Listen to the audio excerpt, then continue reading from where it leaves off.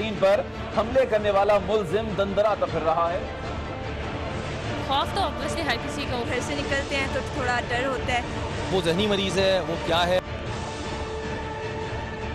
फ़िक्र मत कीजिए मैडम आज के बाद आपको शिकायत का मौका नहीं मिलेगा। इंसान अल्लाह ताला की पैदा करदा तख्लीकात में से एक अहम तख्लीक है। इंसानी जिसम के अंदर बहुत से आज़ा मौजूद होते हैं जो अपना अपना काम अंजाम देते हैं। गोया हर एक अजू अपनी जगह एक अहम अहमियत रखता है। इसी तरह इंसान की सोच, जिसका ताल्लुक इसके दिमाग से होता है, वो एक बहुत अहम किरदार अदा करती है। अगर इंसान की सोच अच्छी हो तो वो दुनिया में बहुत से अच्छे काम करके अपना नाम बना सकता है।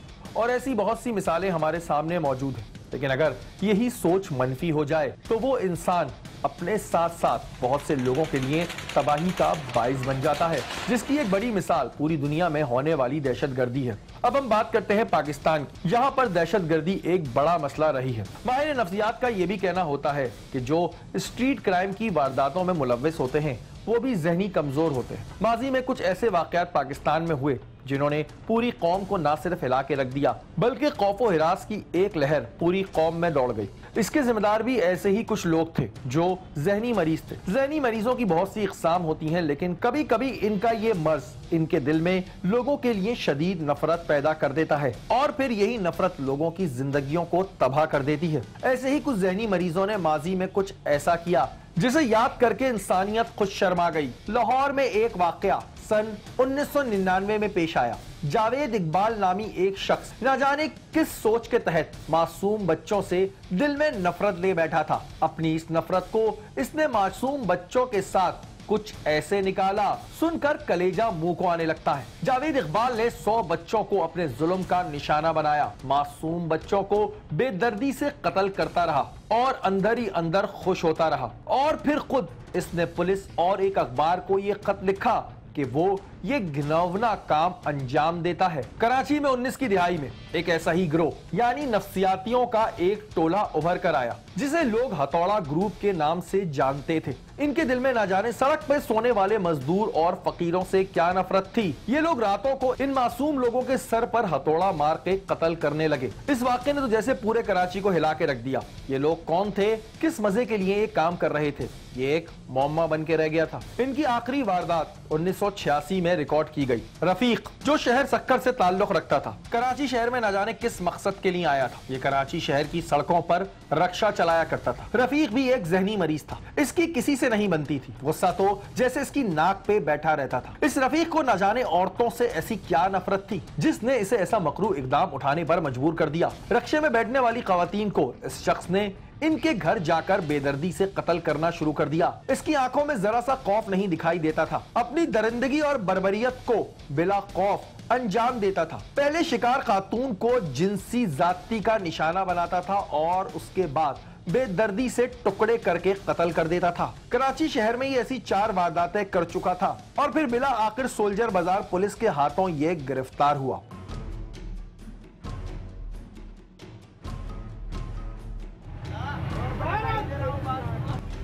चल अपना काम कर।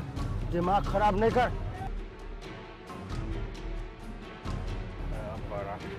चल।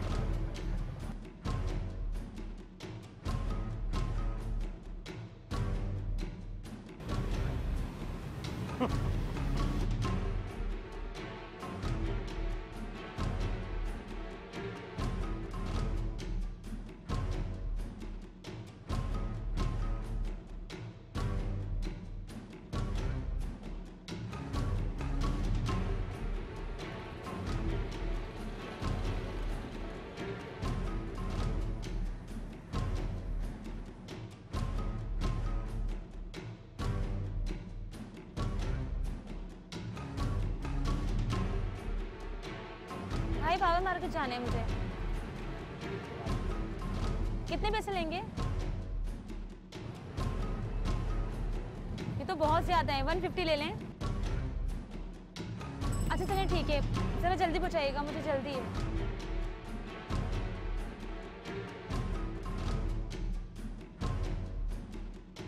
हाँ कैसी हो तुम? हाँ मैं भी ठीक हूँ। नहीं, बस जॉब से वापस आ रही थी। तुम घर चक्कर लगाओ ना। पता है, अम्मी भी घर पे नहीं है। मैं बोर हो जाऊँगी। मैं अकेली हूँ ना। चलो ठीक है। कब तक आ रही हो बताओ। हाँ। चलो ठीक है, फिर मैं तुम्हारा वेट कर रही हूँ। आपके पास थाउज़ेंड का चेंज है? अच्छा मैं ला कर देती हूँ।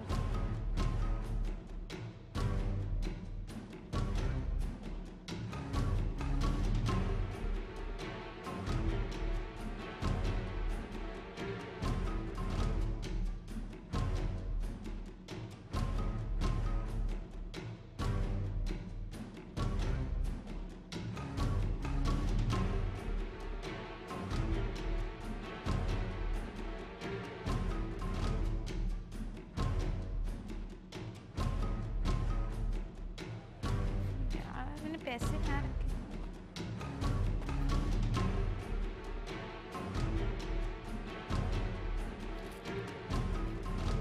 आप अंदर क्यों है?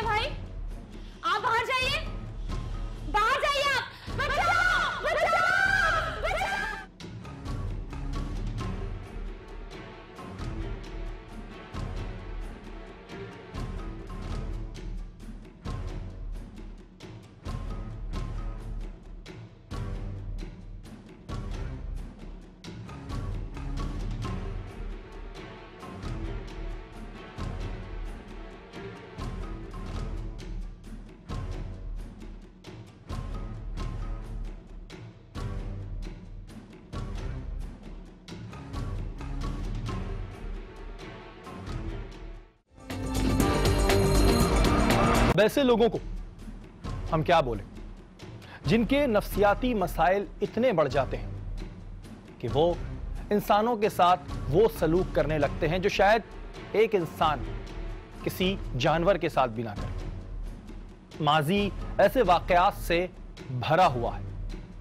लेकिन अचानक एक बार फिर कराची इसकी लपेट में आया और निशाना बनी फिर खवाती चाकू के बाहर करते मुलिम की सीसीटीवी फुटेज टीवी चैनल्स पर चलने वाली एक खबर जिसने गुलिस्तान जौहर की आवाम को हिला के रख दिया। एक मोटरसाइकिल सवार काला हेलमेट पहने गुलिस्तान जौहर के कुछ मखसूस ब्लॉक में दंदनाता घूम रहा है। राह चलने वाली खातून को किसी तेज धार आले से जख्मी कर रहा है और इसके बाद गलियों में कहीं गायब हो जाता है। इसकी सीसीटीवी फुटेज भी आप मुलायजा फरमा सकते हैं कि किस तरह ये शख्स राह चलती खातन को जख्मी कर रहा है। इसका निशाना कोई भी खास एज ग्रुप नहीं। तेरह साल की बच्ची से लेकर पचास साल खातून इसकी जद में आ चुकी हैं। ये शख्स कुछ ऐसा है जिसे हम ड्रामाई तश्कील के ज़रिए आपको समझाते हैं। ये बात तो तय है कि ये शख्स किसी जहनी अमराज का शिकार है। ये शख्स कुछ इस तरह का मालूम होता है। ऐसे लोग अमूमन अकेले रहना पसंद करते हैं। अपनी एक अलग दुनिया बनाए बैठे होते हैं। जिसम में जान हो या ना हो, गुस्सा इन्हें बहुत आता है। इनके दिमाग में चलने वाली सोच इनको दुनिया का कुछ और ही रुख दिखाती है। इनके नज़दीक सही और गलत कुछ नहीं होता। होता है तो बस वो काम जिसे ये अंजाम देना चाहते हैं। इस शख्स के भी हमें कुछ ऐसे ही जहनी मसाइल नज़र आते हैं। इसके दिल में ना जाने औरतों से ऐसी क्या नफरत है, जिस पर ये औरतों को जख्मी करके खुश हो रहा है।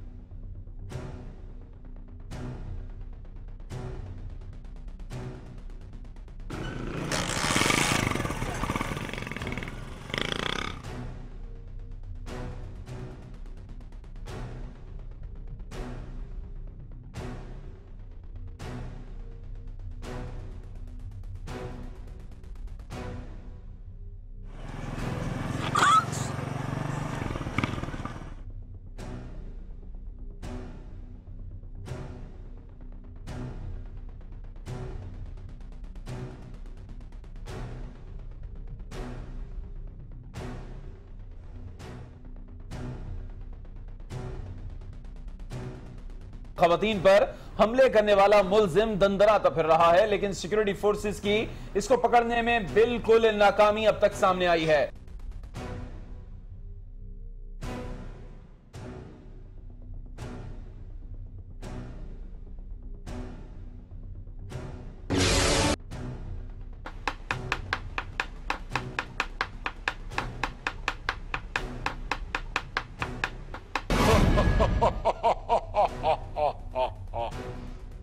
इस वाक़े ने गुलिस्तान जौहर में खौफ व हिरास की फिजा दौड़ा दी। हर शख्स ये परेशान था कि आखिर ये शख्स कौन है और ऐसा क्यों कर रहा टीम टारगेट भी इस खबर को लेकर परेशान थी। हम कुछ पॉइंट्स पर गौर कर रहे थे कि आया क्या वजूहत हो सकती हैं। और इसकी टाइमिंग की जगह का तयन करना। और इन सब नुक्तों को लेकर हम एक सोच में मुब्तला थे।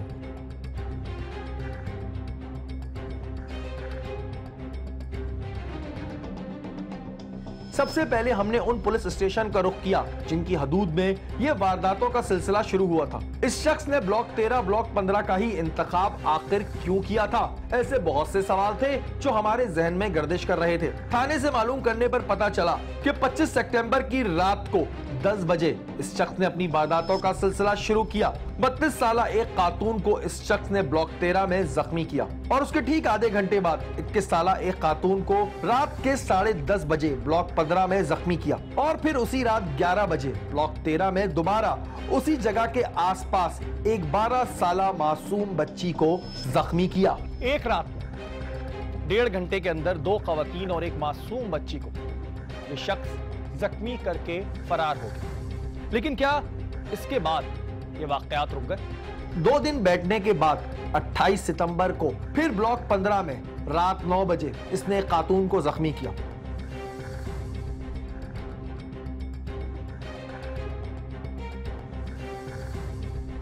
टीम टारगेट इन लोकेशंस पर जा पहुँची। नाजी इस वक्त मैं ब्लॉक पंद्रह मौजूद हूँ और यहाँ पर इस वक्त में ये सूरत हाल है कि अगर हेलमेट लगाया हुआ कोई भी शख्स मोटरसाइकिल पे घूम रहा है तो यहाँ के औरतों के लिए इस वक्त खौफ की अलामत बना हुआ है। ब्लॉक पंद्रह में इस वक्त मैं मौजूद हूँ, यहाँ पर एक बड़ी जो है दीनी दरसगाह भी है और इन जगहों को अमूमन वो शख्स जो है, वो टारगेट करता है। उन लोकेशंस पे हमने कुछ पॉइंट्स नोट करना शुरू किए। इनमें से कुछ लोकेशंस की एक बात कॉमन थी कि यहाँ पर फैमिली पार्क्स मौजूद हैं और उसके बाद वहाँ मौजूद गलियों में ज़्यादातर सन्नाटा होता है, सिवाय एक वारदात के। इसकी सारी वारदातें रात में की गई थी, जिनकी टाइमिंग नौ से 11 थी। अगर हम थोड़ा सा इस तरफ़ आएँगे, क्योंकि ये तो फिर भी एक हमें रास्ता नज़र आ गया। अब अगर इस तरह की कोई गली है, इस तरह की कोई गली है और इस तरह की गली से रात में या दिन के टाइम कोई खातून है या कोई जा रही है तो डेफिनेटली यहाँ से टारगेट करके निकलना जो है वो बहुत आसान है। ब्लॉक 13 और ब्लॉक 15 में कार्रवाइयाँ देखते हुए अब तक हम इस नतीजे पर पहुँचे थे कि ये जो भी कोई है यहाँ का रिहायशी है जो इन गलियों से आशना है। इसे पता है कि किस गली में आना है और किस गली से निकल जाना है। वहाँ मौजूद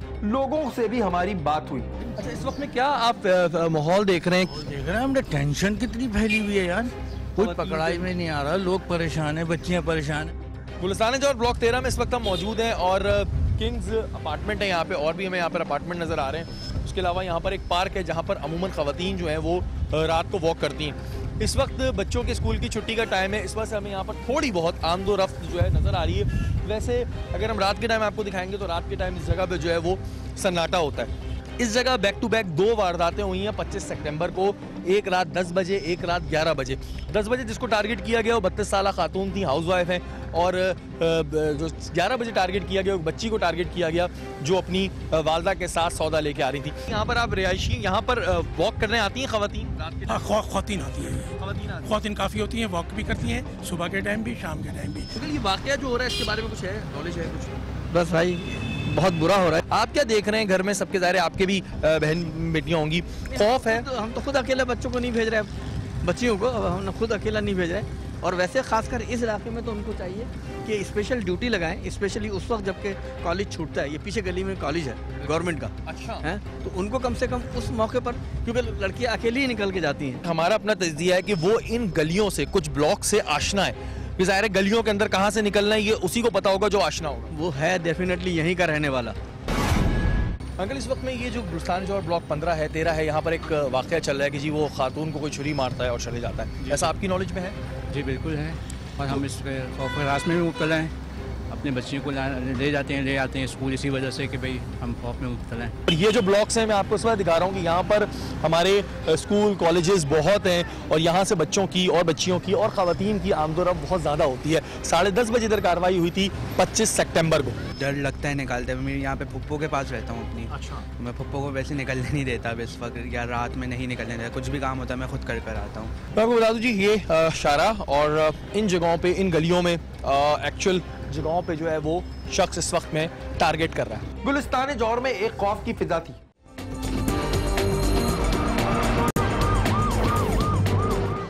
इन तमाम सूरत हाल को देखते हुए हमने डॉक्टर की भी राय ली। गुलिस्तान जौहर में वाक़ एक प्राइवेट अस्पताल दारुल सेहत। इन तमाम केसेस को इस अस्पताल में ट्रीट किया गया था। नाजिन गुलिस्तान जौहर के अंदर इस वक्त खौफ की जो है एक फिजा जो है वो दौड़ रही है। और रीज़न ये है कि एक शख्स है, अब वो जहनी मरीज़ है, वो क्या है, वो शहरत के लिए कर रहा है, ये किसी को मालूम नहीं है। कर ये रहा है कि जी ये बात किसी से ढकी छुपी नहीं है कि वो खातन को ज़ख्मी कर रहा है। और जितनी ख़वातीन ज़ख्मी हुई हैं, उनमें से जो ज़्यादातर ख़वातीन हैं वो दारुल सेहत हॉस्पिटल में आई हैं। इस वक्त हम दारुल सेहत हॉस्पिटल के बाहर मौजूद हैं और इस वक्त हम जाएँगे दारुल सेहत हॉस्पिटल में और डॉक्टर शर्जील से ये मालूम करेंगे कि आया जो अटैक कर रहा है उसकी नौीयत क्या है और आइधर उसका मकसद क्या है? क्या वो जो ख़वातीन हैं, उनको जान से मारने के लिए कर रहा है या सिर्फ़ ज़ख्मी करना चाहता है? अंदर चलेंगे और कुछ जानने की कोशिश करेंगे कि आया ये जो मौमा है, इसका हल क्या है और क्या आ, किस सोच के तहत ये काम कर रहा है? दारुल सेहत में हमारी मुलाकात डॉक्टर शर्जील से हुई। नाजी इस वक्त हमारे साथ डॉक्टर शर्जील मौजूद है। गुलस्तान जौहर में एक शख्स है जिसने हर जगह खौफ हरास फैलाया हुआ है। ख़वातीन में इस वक्त बड़ा खौफ हरास है कि जी छुरे से या पता नहीं किस इक्विपमेंट से जो है वो ज़ख्मी कर देता है और एक अजीब सी कैफियत जो है वो गुलस्तान जौहर में इस वक्त फैली हुई इसके ज़्यादातर जो पेशेंट्स हैं जितनी भी खवतिन हैं वो दारुल सेहत हॉस्पिटल में आई हैं और डॉक्टर शर्जील ने उन्हें डील किया है। इसी वजह से हम यहाँ दारुल सेहत में इस वक्त मौजूद हैं और डॉक्टर शर्जील से बात करेंगे। असल सर। वालेकुम सर डॉक्टर साहब सबसे पहले मैं पूछना चाहूँगा कि अब तक आप लोगों के पास कितने पेशेंट्स आए हैं कितनी खातन आई हैं जिन्हें इंजर्ड किया गया और इनके एज ग्रुप्स क्या थे? सर ये सारा सिलसिला जो है वो 25 सितंबर की रात से शुरू हुआ है और उसके बाद से नेक्स्ट सत्ताईस तारीख तक हमारे पास पेशेंट्स आते रहे। हमारे पास टोटल पाँच पेशेंट्स आए हैं इस हवाले से। सारी की सारी फीमेल्स हैं। यंगेस्ट उसमें थर्टीन ईयर्स हैं तेरह साल और जो ओल्डेस्ट है वो फोर्टी ईयर्स है। मतलब तेरह से चालीस साल के बीच की खातन है। डॉक्टर साहब के मुताबिक ये जो भी कोई शख्स है इसका मकसद हरगिज कत्ल करना नहीं बल्कि ये औरतों को निशाना बना रहा था। ये जितने भी अटैक्स हुए हैं ये किसी मतलब शार्प नाइफ या कोई स्कैल्पल टाइप किसी चीज़ से हुए हैं। जो अटैकिंग एरिया है वो कूले बटक्स और राने यानी थाई पर वो बंदा ये काम करता है। सिंगल वूंड लगाता है और उसके बाद चला जाता है। ये सारी नॉन फेटल इंजरीज होती हैं। मतलब वो जान से मारने की कसर से नहीं आ रहा। अच्छा। वो नुकसान पहुँचाने के लिए या हिरास फैलाने के लिए ही ये काम कर रहा है। इसके पास कोई बड़ा छुरा मौजूद ना था। इसके पास कोई तेज धार छोटा आला है जिसकी मदद से ये खातन को जख्मी कर रहा है। डॉक्टर साहब कुछ आइडिया है कि जो जो इक्विपमेंट इस्तेमाल हो रहा है ये कोई बड़ा छुरा टाइप है या छोटी छुरी है या सर्जिकल जो जिस ऑपरेशन थिएटर में आप लोग करते हैं क्या है कुछ आइडिया देखिए ये जो चीज़ भी है ना इसका जो वून बन रहा है इलेप्टिकल मतलब चाँद की तरह का बनता है और ये हार्डली जो है वो एक से डेढ़ इंच यानी तीन से चार सेंटीमीटर का होता है। इसका जो मैक्सिमम डेप्थ गई है वो भी अबाउट जो है वो एक इंच यानी टू टू थ्री सेंटीमीटर गई तो जो चीज़ भी है वो बहुत बड़ी नहीं है। या ये कि चूँकि वो आ, किसी मतलब जो जिन खवतिन पर भी हमला हुआ है वो कपड़े पहनी हुई थी। हाँ ये ज़रूर है कि शार्प है क्योंकि उसने कपड़ों को भी काटा दो से तीन लेयर्स काटी और उसके बाद स्किन तक गया। कोई भी हमें एस सच माँ सिवा एक के कोई मसल डीप नहीं मिला। जो भी थे वो स्किन डीप थे। खाल तक ही महदूद रहे। डॉक्टर साहब इसमें बहुत सी कैसराइयाँ होने लगती हैं। लोग कहने लगते हैं जी साइको पेशेंट होते हैं ये होते हैं। तो इधर क्या ये निशानियाँ साइको की तरफ़ जा रही हैं कि कोई साइको पेशेंट हरकत कर रहा है या कोई शहरत पाने के लिए कर रहा है? क्या रीज़न हो सकते देखिए इस इसमें नफ्सियात के किरण कोई ना कोई रोल ज़रूर है। क्योंकि अगर आप देखें सारे के सारे विक्टम्स जो हैं वो आपकी फ़ीमेल्स हैं। एक सर्टन एज ग्रुप की हैं। अगर ये आदमी जो है वो सिर्फ़ खौफ हिरास के लिए कर रहा होता तो फिर वो मेल्स को भी करता। अभी हम इस केस पे काम कर ही रहे थे। कि अचानक इस शख्स का वैशीपन एक बार फिर जाग गया और इसने पूरे कराची को हिला के रख दिया। कुछ दिन खामोशी से बैठा ये शख्स अचानक एक बार फिर जाग गया चार अक्टूबर। रात आठ बजे। इसने अपनी कार्रवाइयों का सिलसिला शुरू किया। अब आपको खबर देंगे कराची से जहाँ खवतीन पर हमले करने वाला मुलजिम दंदराता फिर रहा है लेकिन सिक्योरिटी फोर्सेस की इसको पकड़ने में बिल्कुल नाकामी अब तक सामने आई है। लेकिन इस बार इसने पुलिस और हमें एक नया चैलेंज दे दिया। ब्लॉक तेरह और ब्लॉक पंद्रह से निकलकर ये शख्स गुलशन जमाल गुलशन इकबाल और अज़ीज़ भट्टी तक जा पहुँचा। मुलजिम गुलिस्तान जौहर से गुलशन इकबाल तक पहुँच चुका है। कैमरे की पकड़ में तो आ रहा है लेकिन पुलिस की पहुँच से कोसों दूर है। एक से दो घंटे में चार खातन को फिर जख्मी कर दिया। इस खबर ने हमारे साथ साथ पुलिस डिपार्टमेंट को भी झंझोड़ के रख दिया। सिर्फ़ डेढ़ घंटे के दौरान इस मुलजिम ने चार खातन पर हमले किए हैं। वन टू फाइव पर सवार ये मुलजिम कहाँ से आता है और कहाँ चला जाता है किसी को कुछ नहीं पता। कितना खौफ पाया जाता है और पुलिस इस बारे में क्या इकदाम कर रही है ये सब जानने के लिए इस हम रुख करेंगे उस अस्पताल का जहाँ जख्मी खवतान को लाया जा रहा है और वहीं पर हमारे नुमाइंदे शो टारगेट के होस्ट शहरी मौजूद हैं उनके पास चलते हैं उनसे जानते हैं। हमने फौरी दारुल सेहत अस्पताल का रुख किया। पहले तो गुलिस्तान जौहर के उन्हीं इलाकों में कार्रवाई की जा रही थी जो इस अस्पताल से नज़दीक है यानी कि ब्लॉक 12, ब्लॉक 13 या 14 या फिर ब्लॉक 15 अब जो है ये जौहर मोड़ और उससे आगे की जाने ये कार्रवाई शुरू हो गई हैं। कि इसने अपना रकबा बढ़ाया है तो अब चांसेस हैं कि ये अपने हाथ आ जाए ये ये कानून के पुलिस वालों के हाथ आ जाए। पुलिस से जो हमारी बात हुई थी वो अपने तौर पे कोशिश कर रहे हैं लेकिन अगर ये शख्स अब भी पकड़ा गया तो उसमें कोई पुलिस का कमाल नहीं होगा। या तो ये बंदा जो है वो हसतन पकड़ा जाएगा या फिर ये पब्लिक के हाथों पकड़ा जाएगा। अब तक जितने शवाहिद हमने इकट्ठे किए थे इन सबसे हटकर कुछ नए इंकशाफात हमारे सामने आए। हम एक परेशानी में मुबतला हो गए थे कि आया ये क्या हो रहा है। पुलिस डिपार्टमेंट के ऊपर एक बाहरी ज़िम्मेदारी आ पड़ी और इसके साथ सवालिया निशान भी खड़े हो गए थे, जिसका जवाब अब तक पुलिस के पास ना था। पुलिस इतना हड़बड़ा चुकी थी कि एडिशनल आईजी मुश्ताक महर ने तो इसके पकड़े जाने का भी दावा कर दिया। लेकिन आईजी साहब ने इस दावे को मुस्तरद कर दिया।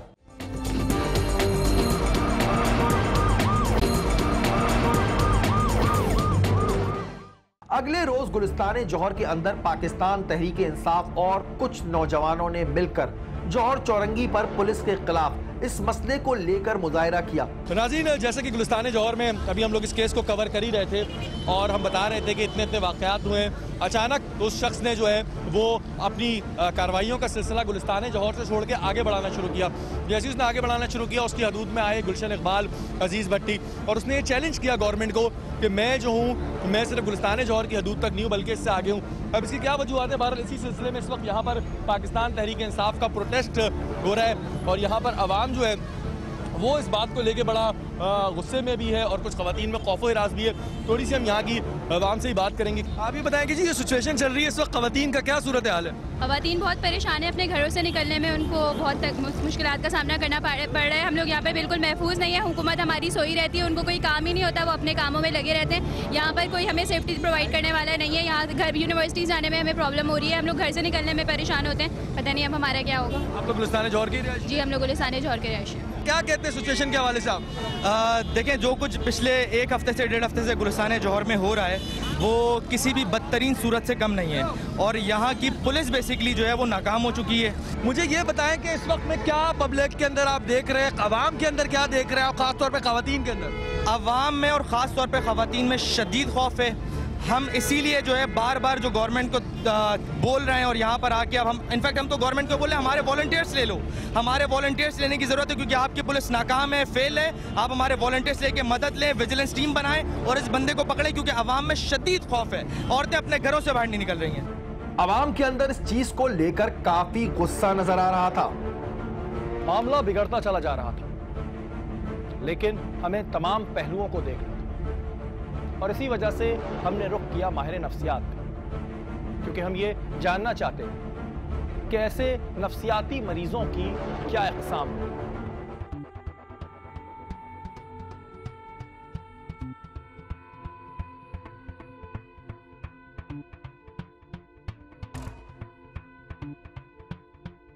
नाजी, इस वक्त हमारे साथ डॉक्टर सोबिया आफ्ताब मौजूद है, माहिर नफ्सियात हैं। इनसे हम बात करेंगे इस केस के हवाले से। डॉक्टर साहब। वालेकुम डॉक्टर साहब ये बताएँ कि हम माजी में अगर जाते हैं तो माजी में भी हमें ऐसे केसेस नज़र आए जिसमें ऐसे बहुत से लोग थे जो जहनी मरीज़ थे और वो जब जहनी मरीज़ होते हैं तो वो इस तरह की हरकतें करने लगते हैं। एक शख्स था जो बच्चों को ड्रम में डाल दिया करता था और उनकी सौ बच्चे उसने जो है वो आ, मार दिए थे। उसके अलावा और भी ऐसे वाक़ आए। तो ये ये प्रॉब्लम एक्चुअल है क्या? बेसिकली uh, जो इस तरह के लोग क्राइम्स करते हैं ये सिवियर क्राइम्स हैं जो सीरियल किलर्स कहलाते हैं मर्डर कर देते हैं स्नैचिंग के दौरान। या रॉबरीज के दौरान, ठीक है गन शॉट कर देते हैं लोगों को। दो तरह के मेंटल डिसऑर्डर्स होते हैं इनको। एक इस कहा जाता है साइकोपैथिक्स और एक होते हैं साइकोटिक डिसऑर्डर के अंडर इन्फ्लुएंस होते हैं। अब जो सीरियल सीरियल किलर्स हैं, ये साइकोटिक्स भी हो सकते हैं और ये जो हैं साइकोपैथिक भी हो सकते हैं। यानी एंटी सोशल पर्सनालिटी डिसऑर्डर की सिवियर फॉर्म भी हो सकती है। तो ये दोनों ही काइंड हो सकती हैं। अच्छा साहब, एक मैं आपकी बात सॉरी काट रहा हूँ कि इस तरह के जो केसेस आते हैं, इनकी कोई ना कोई हिस्ट्री ज़रूर होती है? जी इनकी हम हिस्ट्री की बात नहीं कहेंगे हम क्या फैक्टर्स हैं जो इनको ऐसी शख्सियात बनाते हैं? यानी क्या है जो साइकोटिक डिसऑर्डर का वो शिकार होते हैं या फिर जो है वो एंटी सोशल पर्सनालिटीज़ बनती हैं? वैसे ऐसी क्या वजूहत होती हैं जिस पर जो इस तरह के नफसियाती मरीज़ हो जाते हैं और इस तरह के कदम उठाने लगते हैं? इसमें दो कॉमन वजूहत जो हैं एक या तो आपके जेनेटिक फैक्टर्स हैं दूसरे आपके इन्वायरमेंटल रीजंस होती हैं। जेनेटिक फैक्टर्स के अंदर आपकी ब्रेन के अंदर एबनॉर्मेलिटीज़ आ जाती हैं। पर्टिकुलरली आपकी ब्रेन के उन, उस रीजन के अंदर, यानी जो आपका इमोशनल सिस्टम है, उसके जो डिफरेंट रीजन्स हैं, उनमें कनेक्टिविटी लो हो जाती है। जो इन्वायरमेंटल रीजंस हैं, या जो सोशल रीजंस हम कहते हैं, ये वो शख्सियात हैं जिन्होंने बचपन में अब्यूज़ सहा है। ये जो केस चल रहा है, जिसमें एक शख्स है, वो खवतिन को छुरी मार के जो है वो चले जाता है। रीजंस क्या है कि जो हम माजी में भी जाते हैं तो टारगेट या तो बच्चे होते हैं या खवतिन होती हैं। इस तरह के जो जहनी मरीज़ होते हैं इनका टारगेट ये दो फैक्टर्स क्यों होते हैं? ये दो एरियाज़ में क्यों जाते हैं? तो बच्चे या खवतिन? देखिए अच्छा जैसे अब इसको कहा जा रहा है सीरियल किलिंग मैंने बहुत सारे टीवी चैनल्स के ऊपर भी देखा तो हम इसे सीरियल किलर किलर तो नहीं कह सकते। क्योंकि this are not killer attempters हैं। अटेम्प्ट कर रहा है और वो भी जो अभी तक मैंने डॉक्टर से से बात की है वो अटेम्प्ट भी जो कर रहा है वो मारने के उससे नहीं कर रहा है। वो सिर्फ़ इंजर्ड कर करने और एक। खास मखसूस हिस्से पे इंजर्ड कर रहा है। जी बिल्कुल। अच्छा है वो एक ही बंदा अभी तक जो चीज़ें आ रही हैं कुछ हम्म। ब्लॉक्स उसने अपने वो किए मैं कि जी ब्लॉक तेरह ब्लॉक पंद्रह। सब एक मुझे चीज़ बताइएगा कि जो ऐसे लोग होते हैं ये हमारे इर्द गिर्द घूम रहे होते हैं। अब एक हम हम तो नहीं पहचान सकते। तो उनकी निशानियाँ क्या होती हैं? कुछ निशानियाँ होती हैं कि ज़रा एक नॉर्मल बंदा है।